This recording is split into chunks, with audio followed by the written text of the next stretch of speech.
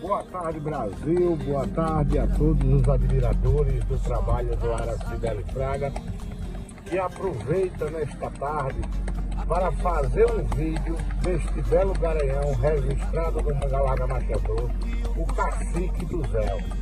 Cacique do Zéu é um garanhão com oito anos de idade, leva nas suas veias o sangue do Haiti caxambuense um belo garanhão com mais de 50 filhos registrados no Mangalaga Machador, na associação, mas já mostra que ele não é diferente não, viu?